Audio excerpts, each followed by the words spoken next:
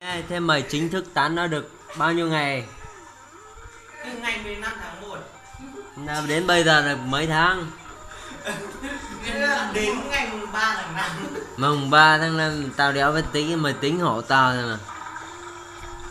từ tháng 1 đến tháng 5 anh tính đi 4 tháng À 4 tháng mà đéo tán được. Thế mất bao nhiêu tin nhắn?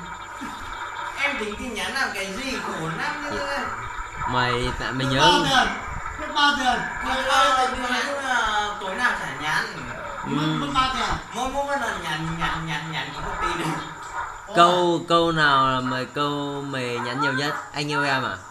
đấy đúng anh À. như chị chị Sao được ừ. Ờ, cho nói chung nào về mấy mấy ngày cuối um, cô nhắn thêm à, bộ sáng trưa gì đấy À, buổi sáng thì good good night à? anh nói anh nào như trình độ tiếng anh của em. Ừ. buổi sáng vui vẻ good à? Được chưa? Ngon miệng Được tới. Ngủ ngon Giữa tối rất tối đêm khuya cổ nó lên lên Mày Mày cái gì khổ mày yêu làm gì cái thời gian em bận làm gì xong em một tháng đâu Thế là mày không phải đến đến đến đến ngày mùng ba tháng năm là tin nhắn cuối cùng rồi. Tin nhắn đấy mày nhắn như nào? tin nhắn đấy á? Ừ. vẫn như những tin nhắn trước rồi mà thế mày kể nội dung mà. Vẫn anh Ờ, anh yêu em. Thế mày thế bảo này nhá. Mày nhắn tin nó có trả lời mày không? Từ tháng mày bao nhiêu nhỉ Thì nó trả lời mày bao nhiêu tin nhắn? à không có nghĩa là em em tặng nó từ tháng 1 ở đây Đấy, đấy, em nghe là tặng nó từ tháng 1 nhưng mà sang tháng 2 mới ngỏ lời. À. Ờ có nghĩa là nó trả lời tin nhắn không từ từ từ lúc tả ra nó không trả lời thì trả mình rồi Ờ, chắc là thì- mày biết vì trả sao? nào mày biết vì sao? Thì tại- tại vì nó đéo có tiền. À, mày lại có tiền mày nhà giàu mày dùng điện thoại. Thì nó lại dùng messenger bây giờ zalo facebook.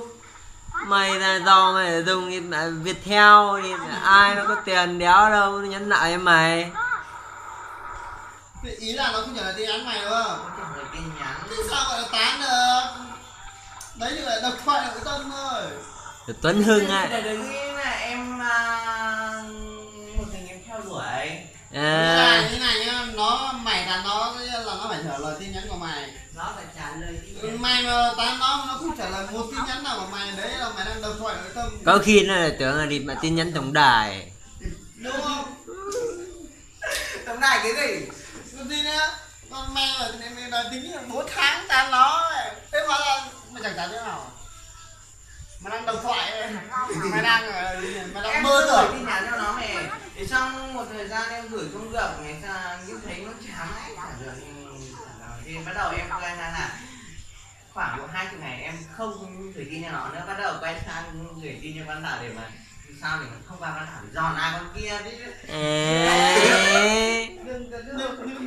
thế bây giờ ra thì mày bảo mà lần à, nhưng mà đến lúc mày bảo là hòa thích ăn gì à? Hòa đang làm gì à?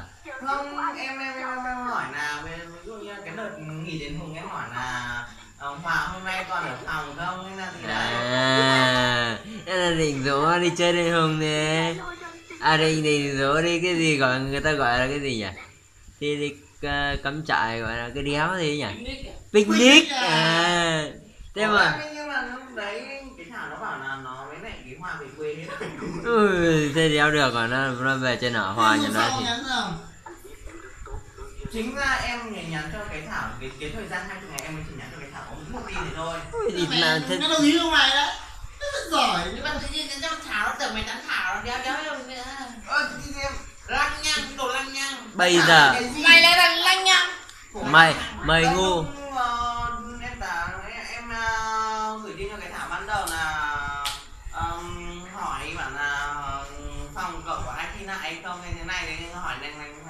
Ê, thế đéo được rồi con Thảo nó này bảo là mày nhắn tin mình nhớ thế là nhớ nhớ nhớ nhớ nhớ bảo với con Hòa có bảo con Hòa là thằng Hiếu nhắn tin với chị thế là thế là nó mới hiểu nhầm hiểu nhầm thì gì mà nó đéo thèm nhắn lại mày à bỏi á anh anh nói cũng suy nghĩ một bây giờ em làm gì em bạn cái con mẹ mày thế nó thế nó ở cùng phòng với nhau thì nó phải bảo nhau như nó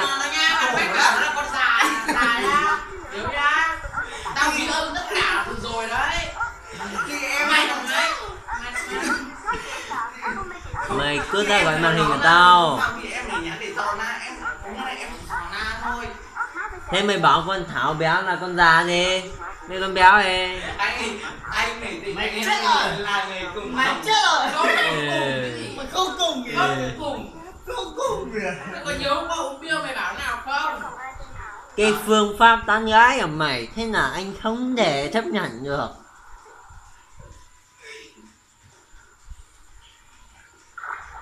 Nam nữa là tao níu nhỡi chứ bấy à. Mày hãy suy nghĩ lại em Bây giờ thế này nhá.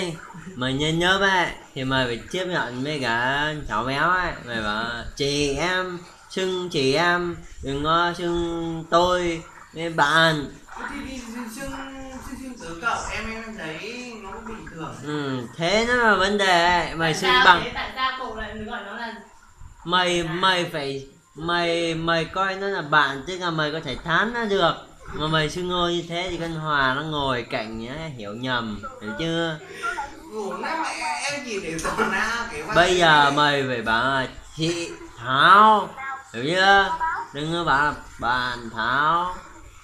Thảo ơi anh đừng nói đến cái người chúng nó hiểu hiểu nhờ em đã ở đây. hay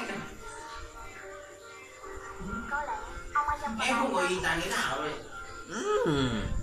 giận em là không mơ mày có dán thề không? À, mày thề cho xem mà đấy. Ừ. Ơi, không tán không tán nhất quyết yêu hòa. Không mà thôi chứ cái nó tán cái nào làm cái gì? Theo hôm qua nha, tao hỏi thật nha Lúc 3 giờ tao đợi, tao thấy mình nằm mơ Bảo anh yêu em Hòa Mày cứ gọi tên Hòa, tao thằng Tùng à. Phải không? Hôm qua mày nằm mơ đấy phải không? em không làm mơ qua em không trứng Thằng Hòa nó mà tao gọi lại mẹ còn ghi âm mà sáng Hòa quên ấn nhầm bắt xóa mẹ rồi. Tao mới, phải không? Phải hôm qua mày nằm mơ đéo nữa. Tối nằm mơ mà thờ tay túi quần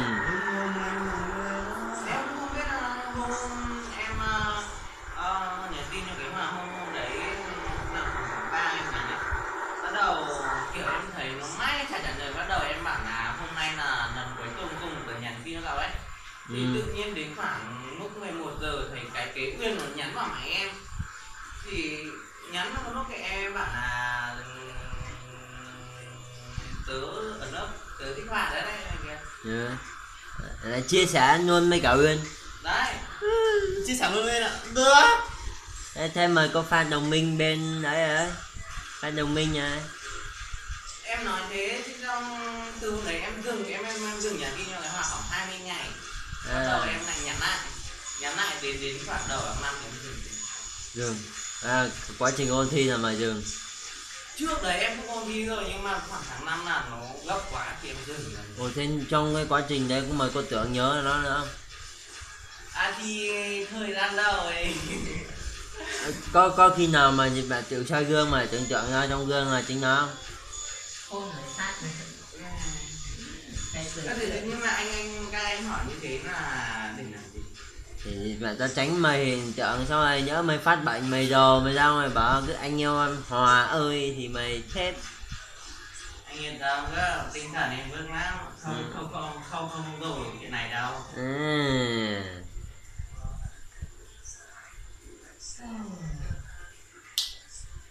thế tao chỉ cần hỏi mày thế à. đang tìm biện pháp cho mày 给你们给你